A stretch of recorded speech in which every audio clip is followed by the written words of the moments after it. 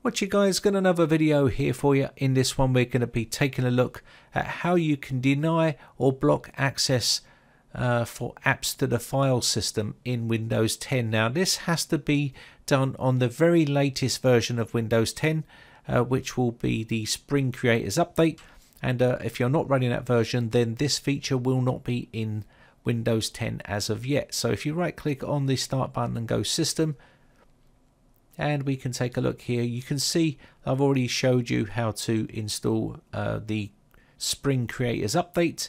And this is the version that we are running here 18.03 if you're not running that and you're running a previous version then it won't be on Windows 10 okay? You'll just have to wait for the update release. But anyway it's good to learn and know before the update is ready so you'll know how to do it. So we're going to go to the start button here then go settings once we got into the settings panel here, you want to go to privacy. And uh, from here, you want to come all the way down on the left hand side here, down to file system. Inside here, you can see we do have allow apps to access your file system. Now these will be including documents, pictures, videos, and uh, the local OneDrive and stuff like that. So what you can do is click on change and you can now click this to off if you wanted to.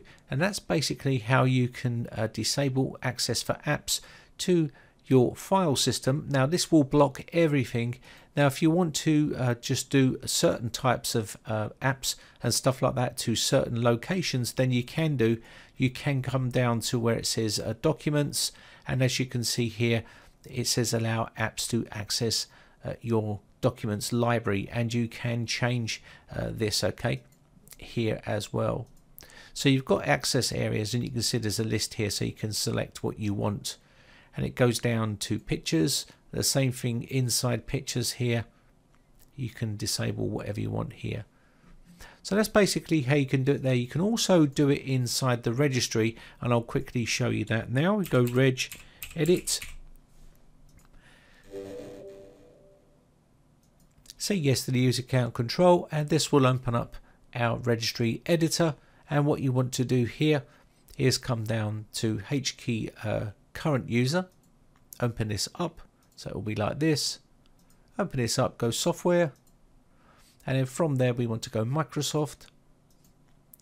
And then Windows. So drill down to Windows open this up current version. And uh, what we're looking for here is uh let's see. Compatibility let's see. There we go. Compatibility access manager. Then we want current store. Inside here we want to go broad file system access. Inside here on the right hand pane you can now see the value is set to allow.